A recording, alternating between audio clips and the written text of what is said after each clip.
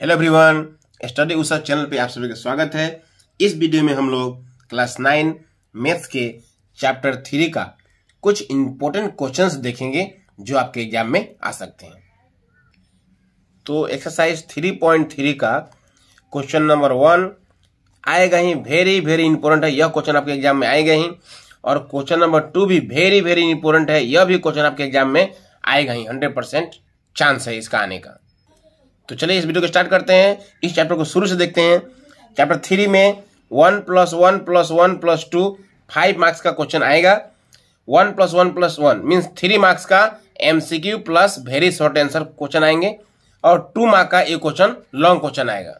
देखिए page seventy eight में तो इस फिगर में देखिए एक्स ओ एक्स डैश इसको बोलते हैं X axis Y O Y dash इसको बोलते हैं Y axis the horizontal line X dash X is called X axis the vertical line Y dash Y is called Y axis the point where X dash X and Y dash Y cross is called origin इस point को बोलते हैं origin ओ means origin तो इसमें ध्यान देना है कि एक्स के ओर जाने से one two three four five six क्या होता है? प्लस वैल्यू होता है। इसीलिए इसको बोलते हैं पॉजिटिव एक्स एक्सिस और ओरिजिन से लेफ़्ट साइड में means X dash X dash की ओर जाने से क्या होता है? माइनस होता है। Minus one minus two minus three minus four minus five minus six इसलिए इसको बोलते हैं निगेटिव एक्स एक्सिस और ऊपर की ओर क्या होता है? प्लस होता है one two three four five और नीचे की ओर क्या होता है? Minus one minus one minus two minus three minus four dot dot dot page seventy nine में, देखिए यहाँ चार क्वाड्रेंट होता है। Quadrant one quadrant two quadrant three quadrant four जो क्वाड्रेंट वन होता है, इसमें plus X plus Y means X का वैल्यू भी प्लस वाई का वैल्यू भी प्लस दोनों वैल्यू क्या होता है? प्लस होता है. और फ़र्स्ट क्वाड्रेंट का ओपोजिट में जो थर्ड क्वाड्रेंट है, इसमें दोनों minus minus X minus Y दोनों माइनस और सेकेंड क्वाड्रेंट में क्या होता है? सेकेंड वाला प्लस होता है. पहला माइनस और सेकेंड वाला प्लस सेकेंड क्वाड्रेंट में सेकेंड वाला क्या होता है? प्लस होता है. फ़र्स्ट वाला क्या हो गया? माइनस। और फोर्थ क्वाड्रेंट में इसका उल्टा। प्लस प्लस एक्स और माइनस वाई तो इसको ज़रूर याद रखिएगा आप लोग, क्योंकि क्वेश्चंस देता ही है एग्ज़ाम में। सपोज़ देगा क्या?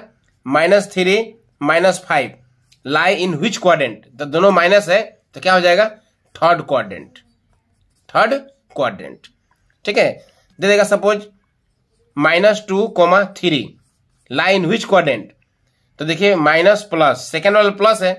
अगर सेकेंड वाला प्लस है तो क्या होता है? सेकेंड क्वाड्रेंट तो क्या हो जाएगा? क्वाड्रेंट टू तो इस टाइप से क्वेश्चन एग्ज़ाम में आता है। पेज नंबर एटी में देखिए the X coordinate of a point is the perpendicular distance from Y axis देख लीजिए कैसे। X coordinate is called abscissa exam में पूछता है व्हाट इज़ एफसीसा तो क्या बोलेंगे?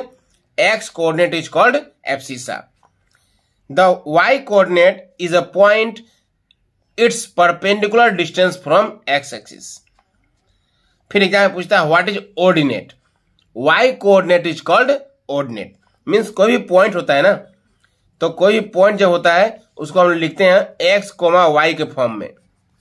ठीक है? तो जो फ़र्स्ट होता है, इसको बोलते हैं एफसीसा और जो सेकेंड होता है, उसको बोलते हैं ऑर्डिनेट तो इस, इसमें, यहाँ, इसमें देख सकते हैं कि एफसीसा क्या होगा? एफसीसा हो गया एक्स और ऑर्डिनेट क्या हो गया? ऑर्डिनेट हो गया आपका वाई। ठीक है? इस टाइप से अगर मान लेते हैं, दे देगा क्या? Three comma four. Three comma four. अब पूछ देगा कि बताइए, इसमें एफसीसा कितना है? तो एफसीसा कितना हो जाएगा? थ्री हो जाएगा। और ऑर्डिनेट कितना हो जाएगा? ऑर्डिनेट कितना हो जाएगा? फोर हो जाएगा। तो abscissa equal to three. And ordinate equal to four okay page number eighty two में देखिए the coordinates of the origin are zero comma zero यह क्वेश्चन वेरी वेरी इंपॉर्टेंट है, यह आपके एग्ज़ाम में आएगा ही। The coordinates of origin are zero comma zero exercise three point two question number one देखिए what is the name of horizontal line तो क्या होगा answer horizontal line is called X axis the vertical line तो क्या होगा answer the vertical line is called Y axis तो यह question very very important है। यह आपके एग्ज़ाम में आएगा ही। क्वेश्चन नंबर टू देख लीजिएगा। क्वेश्चन नंबर थ्री देख लीजिएगा। What is the name of each part of plane form by these two lines तो क्या होगा? Quadrant right the name of the point where these two lines intersect क्या होगा? Origin page number 85 का example three देख लीजिएगा। Important है। Page 86 का एग्ज़ाम्पल फोर यह क्वेश्चन 2022 में आया था। देख लीजिएगा।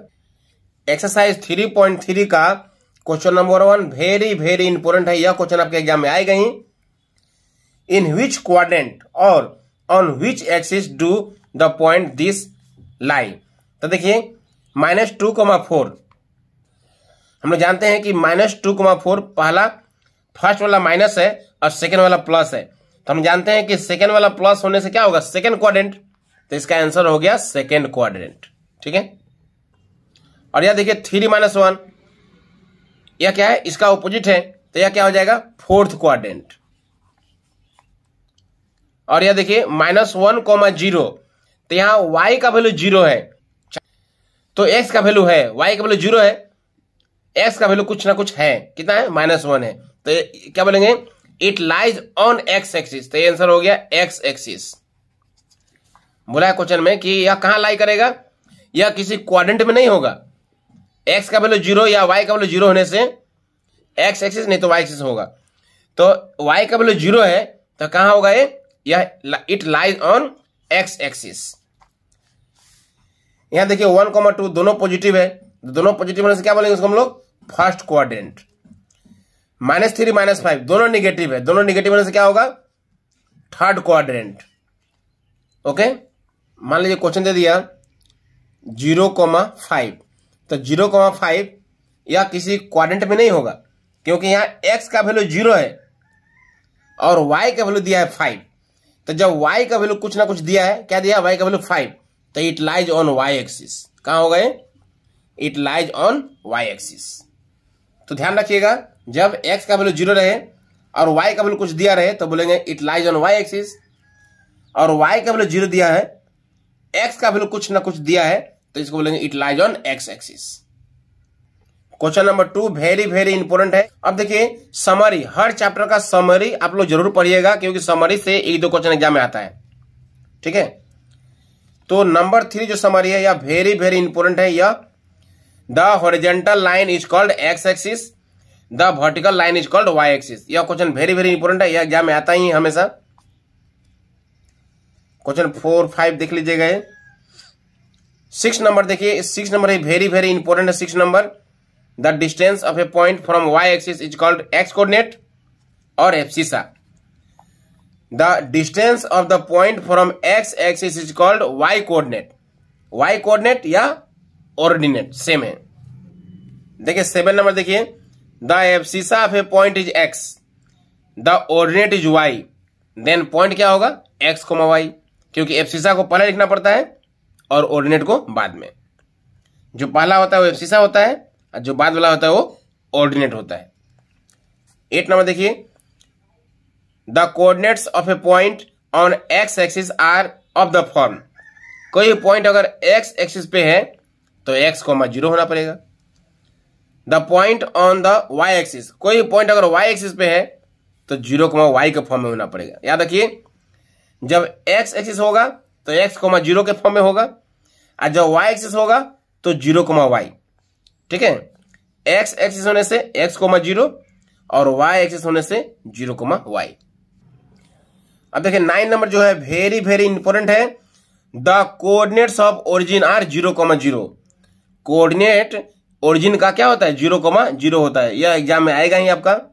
टेन नंबर देखिए, टेन नंबर इंपॉर्टेंट है। The coordinates of a point are plus plus क्या हो गया? फ़र्स्ट क्वाड्रेंट हो गया।